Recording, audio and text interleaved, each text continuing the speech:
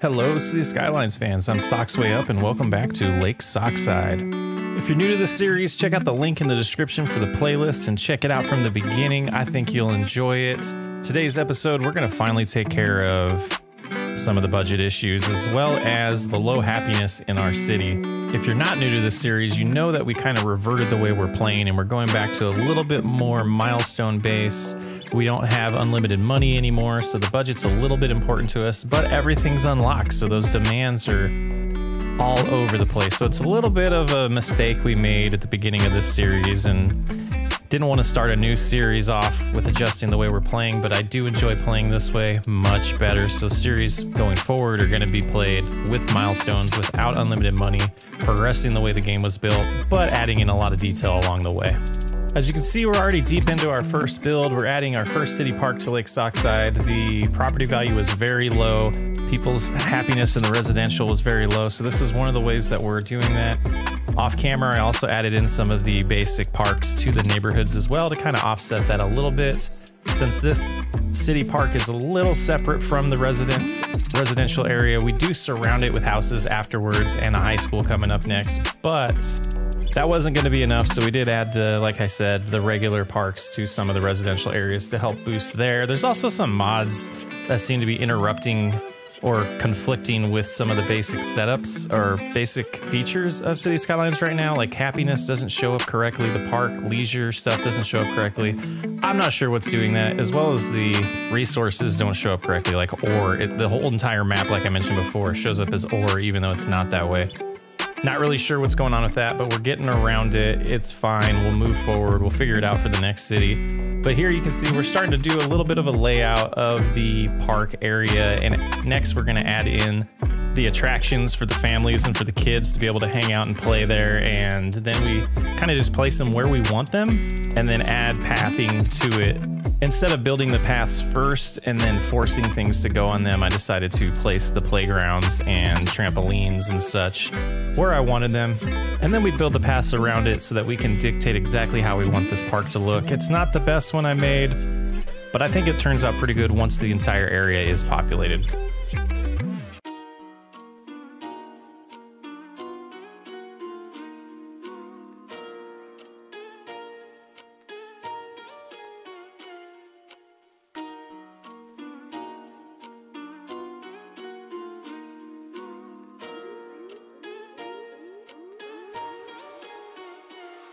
And here you can kind of see what I was talking about. We now are adding the pathing to connect all of the different playgrounds together. It makes the park look complete. I'm not sure. I don't think this is going to hit five stars. We might have to add a little more attractions in here to get there eventually.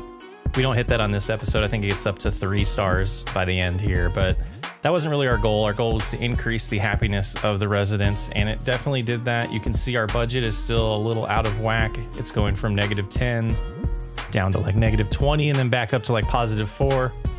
You know, later on, we're going to add an industry area to take care of that. And using the industries DLC definitely helps out with that because it can maximize our profit once we get the import and outport and export stuff all taken care of. But here we're doing a little bit of detailing, a little bit of styling after we add these paths.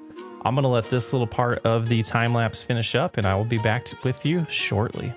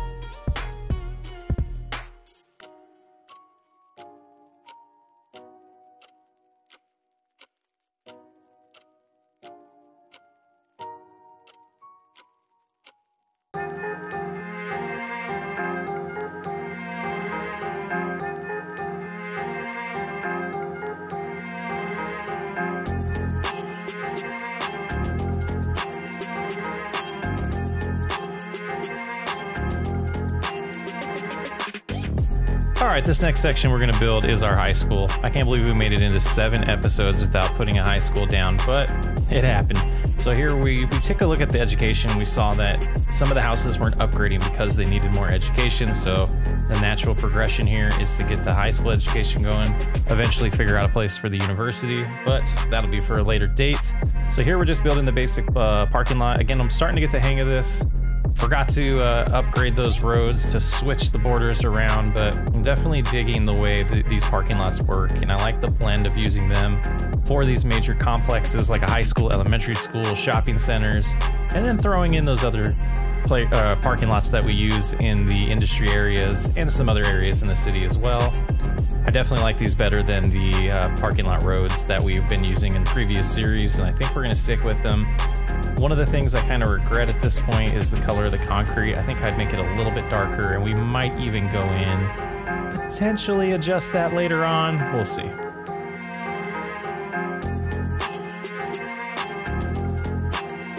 Next, we're starting to play around with some different buildings that we want to use for this high school. I don't like these first ones, so then we replace them with other ones that I think turn out nice. I like these these different schools that you can build next to each other and the buildings actually go together. I don't know the actual like technical term for that, but I love it.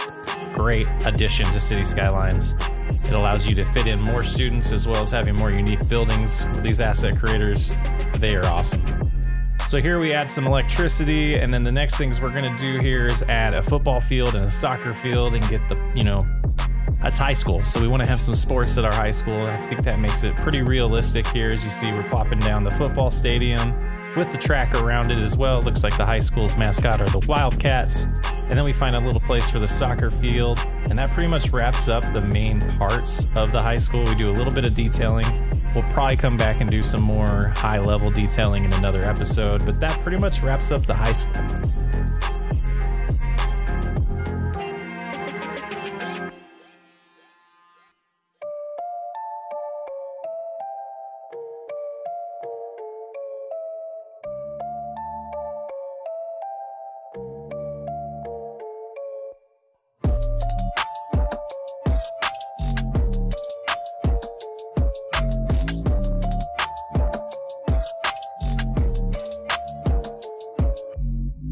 So on most of these episodes, we have been doing detailing of these parking lots. I wanted to do one of the smaller ones in this in case people are new and haven't seen how we do that yet.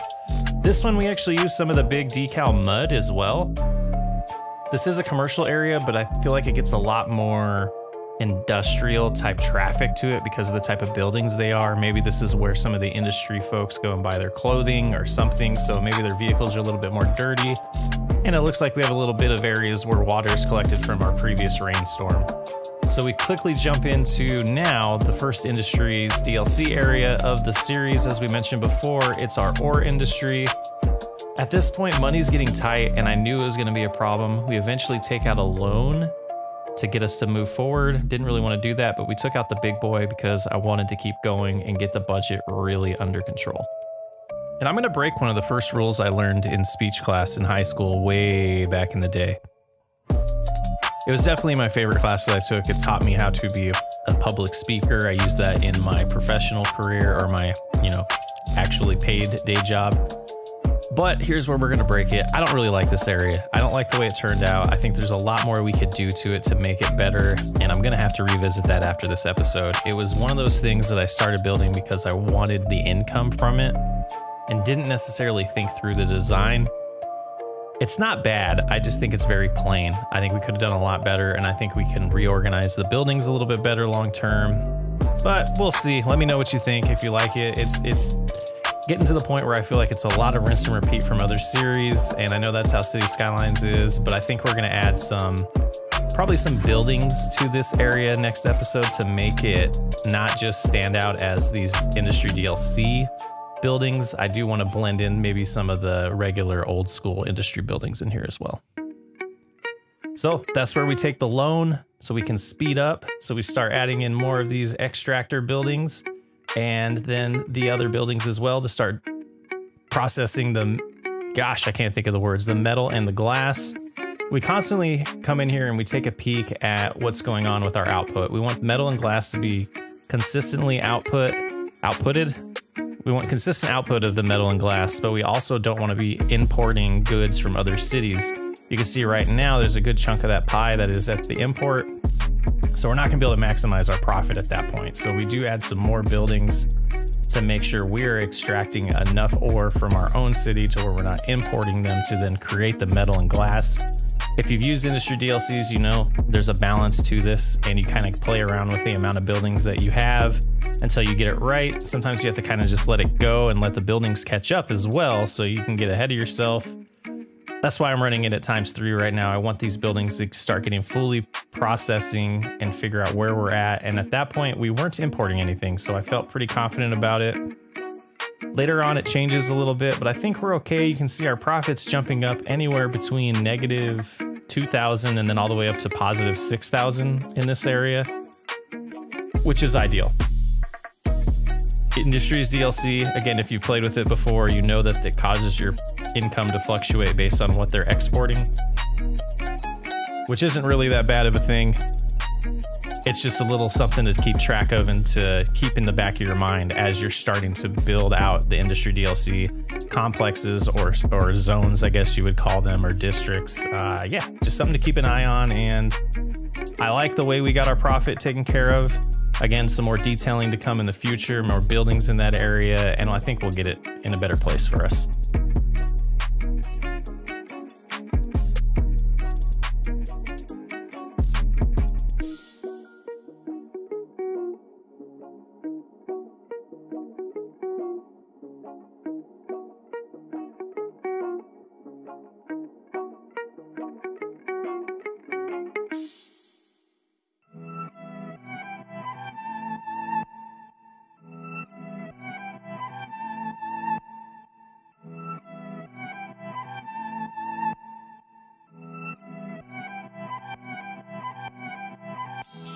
All right, to start closing out the episode, we start adding in some parking lots to the industry area, as well as we're starting to notice that that residential demand has spiked exactly how we wanted to. Next episode, we are going to do a major residential increase to the city, potentially some high dense buildings. We'll see. If anybody's familiar with Socks Way Up cities, I tend to use skyscrapers sparingly and high dense buildings We'll see. I think this town is, it's a very much a small town at this point. We're still at 3,700 people because we're using realistic population. So just like the name of the mod says, realistic, you only have one household per low density building, and then the high density buildings have a lot more than Vanilla City Skylines. If you haven't checked that out, check out that mod. I'm personally a huge fan of it because it makes the cities more realistic when it comes to how each area is populated and how the population grows of the city. Also does some tuning to the industry and or commercial buildings as well. Again, check it out if you haven't. It's a pretty cool mod. But here we're adding in one more commercial building or complex to the end of this episode. I wanted to I wanted to get that commercial demand as low as possible leading into the next episode, and that's why we added this out here. Also, I look at it as a nice little shopping area for our industry employees to be able to spend at lunchtime or right after work. They want to pick up something on the way home. That's at least how I think about it. This is also our attempt of cleaning up this area and connecting the two industry buildings or industry sections together. If you've seen the way I build buildings, I like to build these sections and then bring them together in the long term. And that's what we're gonna do here. All right, that's going to wrap up another episode of Lake Sockside. Again, I'm Socks Way Up. Thanks for hanging out. To recap, we got a little bit of an ore industry going. We got a little bit of a high school going as we scroll on over here for that. Another little commercial area here as well. I would also say that we finished out this second residential area, kind of finally got that all complete. We got it all detailed like we want, so we can move forward to expanding in other areas in the next the next upcoming episodes. Thanks for hanging out, and if you haven't already, hit that like button, hit the subscribe button, and I'll catch you on the next episode.